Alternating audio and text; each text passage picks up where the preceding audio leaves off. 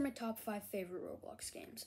For five, I'm gonna have to go with Superhero Tycoon, because, I mean, just who doesn't love it? Number four, I'm gonna have to go with Dunking Simulator, because I'm a big basketball guy. It's just one of those fun basketball dunking games. Number three, probably gonna be Shadow Boxing, because it's just one of those really fun games you won't find so often.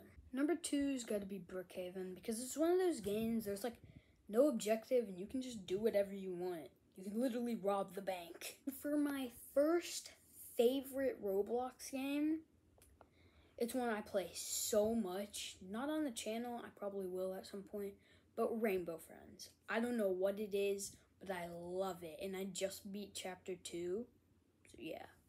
Those were my top 5 favorite Roblox games. Hope you enjoyed. See ya!